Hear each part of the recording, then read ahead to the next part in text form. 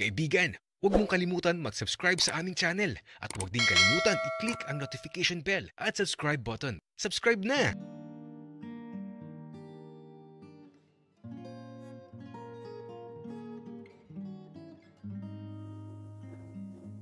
Sobrang nalulungkot at naiinis ako ngayon. Kasi naman yung telepono ko, ayaw nang mabuhay. Wala pa naman akong pambili ng bago. Paano ko matetext at matatawagan si Russell? Naiinis talaga ako. Kaya ito nung paalis na kami ni Albi. Sobrang lungkot ko talaga. Pero pag-iipunan ko na lang.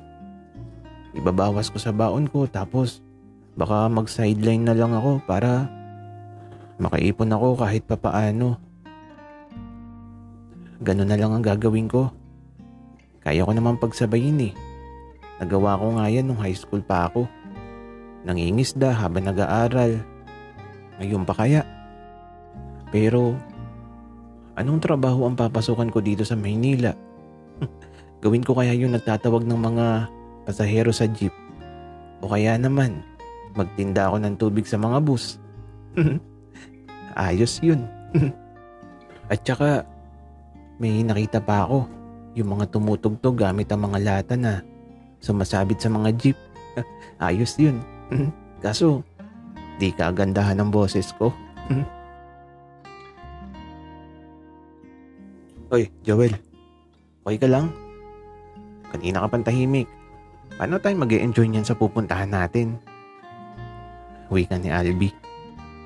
Ah, uh, kasi nag-iisip ako ng pwedeng maging trabaho ko dito sa Maynila, Albi.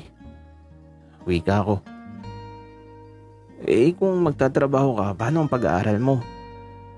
Wika naman ni Albi sa akin. Pwede ko naman pagsabayin yun. Kaya ko yun, huwag kang mag-alala. Wika ko naman. Eh, anong trabaho naman ang papasukan mo? Tanong ni Albi. Um, magtitinda ako ng tubig sa bus. Tapos, magtatawag ako ng mga pasahero sa jeep. Tapos, isasama kita dun sa isang sideline ko. Kakanta ako sa jeep at tutugtog gamit ang mga lata. Ikaw ang magbibigay ng sobre sa mga pasahero. Wika ko. Ayoko Joel. Ano ka ba? At saka bakit ba magtatrabaho ka? Wika ni Albi. Pambili ko ng telepono, nasira kasi. Wika ko. Loko ka talaga, Joel.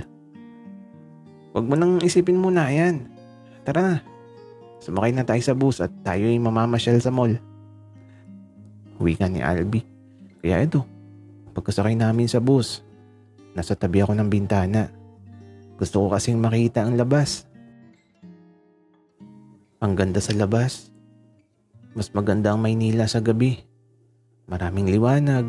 Tapos, ang lalaki ng mga billboard. Pinagmamasdan ko nga yung mga model eh. Baka sakaling makita ko si Russell. Kaso, iba ang nakita ko. Napalingon tuloy ako kay Albi tapos nakatingin din siya dun sa billboard na tinitingnan ko. Albi, kamukha mo yun no? Wika ako.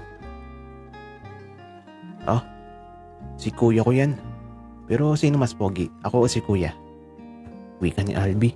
Nagulat tuloy ako. Kaya pala kamukha niya. Kaso yung tanong niya, napakahirap sagutin. Kasi naman, mas pogi yung kuya niya. Pero dahil magkaibigan kami ni Albi, Siyempre, ikaw. Wika ko kay Albi. Tama ka, Joel. Nagtataka nga ako kay kuya eh.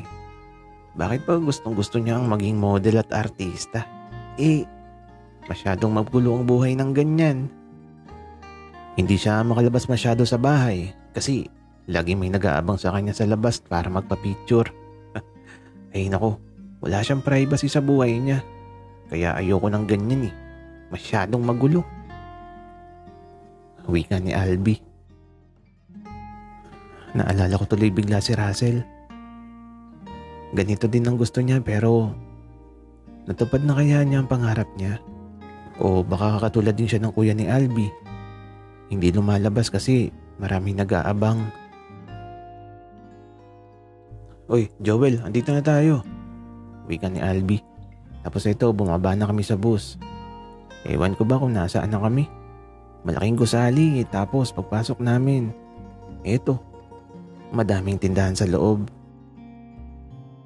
Layas talaga tong si Albi. Ang daming alam na lugar eh. Kaya ito, nakabuntot lang ako sa kanya.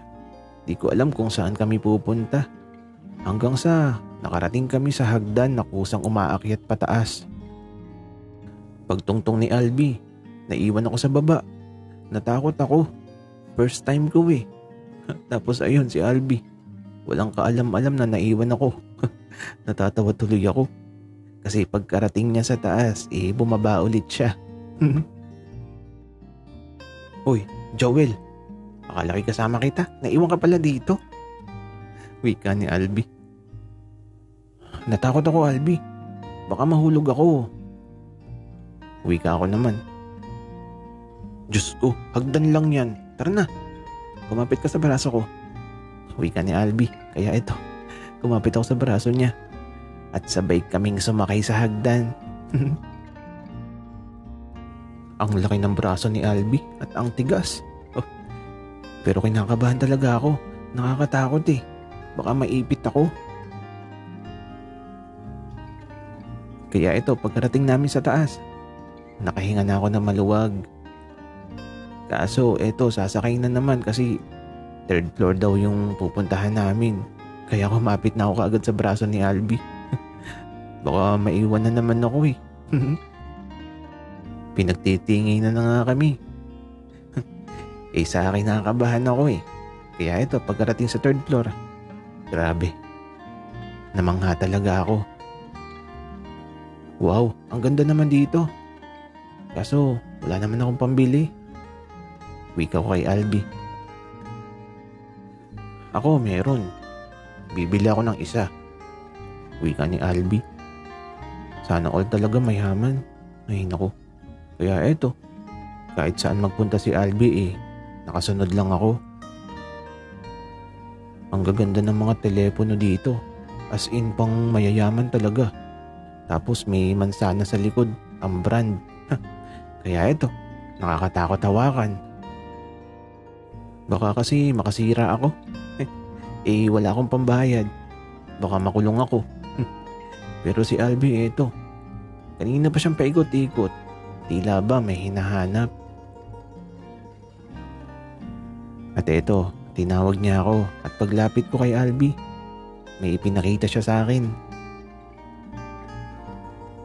Joel, maganda ba to? Wika ni Albi. Ah, oo. Magkano ba yan? Wika ko naman tapos ito. Itinuro sa akin ni Albi yung presyo. Natulala ako sa nakita ko. Grabe, sobrang mahal. Joel, selfie tayo? Wika ni Albi. Napangiti tuloy ako bigla. At eto, may larawan na kami dun sa mga demo use na telepono. Hala, magkahawig tayo Joel? Wika ni Albi. Oo nga, pero mas pogi ako. Wika ko naman. Eh di wow. Wika naman ni Albi. Hindi naman siguro bibili ng ganito kamahal si Albi. Aayain ko na sana siyang umalis kaso... Ate, isa nga nito. Wika ni Albi. OMG, ang mahal nun. Sayang ang pera. Ah sir, saglit lang. Wika ni ate. At pagbalik niya, eto na. Dala na ni ate yung kahon kung saan nakalagay yung telepono. Natulala na lang ako nung magkabayaran na. At eto, di na lang ako nakapagsalita kasi naman. Bakit gumagastos ng ganun si Albi? Sayang talaga ang pera. At eto, di ko alam kung saan kami pupunta. Pinahawakan niya sa akin yung paper bag kung saan nakalagay yung bagong telepono niya. Kaya naman hinawakan ko mabuti. Baka may humablot eh. Tapos ito, may inaalala ako. Yung picture namin dun sa tindahan ng telepono. Albi, yung picture natin dun, binura mo ba? Tanong ko. Ah, ah, hindi eh. Hayaan mo na. Doon na yun. Wika ni Albi. naku naman, nakakahiya kapag may nakakita. Ay, naku. Ah, Joel. Ingatan mo yan ha. Para sa'yo talaga yan. Regalo ko sa'yo. Para naman di ka na malungkot. Ano, uuwi na ba tayo? Wika ni Albi. Matapos ko marinig ang sinabi ni Albi, Nangilid ang mga luha ko kasi naman, bakit ang bait niya sa akin? Ganun ba ako ka-espesyal sa kanya para bigyan ng ganito?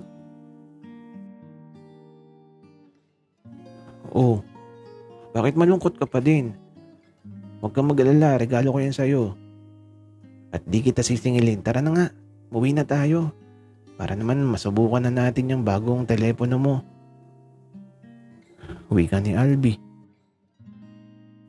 Kung panaginip ito, sana di na ako magising. Pero iniisip ko talaga yung larawan na naiwan namin sa binilihan namin ito. Nakakahiya talaga. Bakit kasi di binura ni Albi yun? Nag-iwan pa ng bakas eh. Pero okay lang. Pogi naman.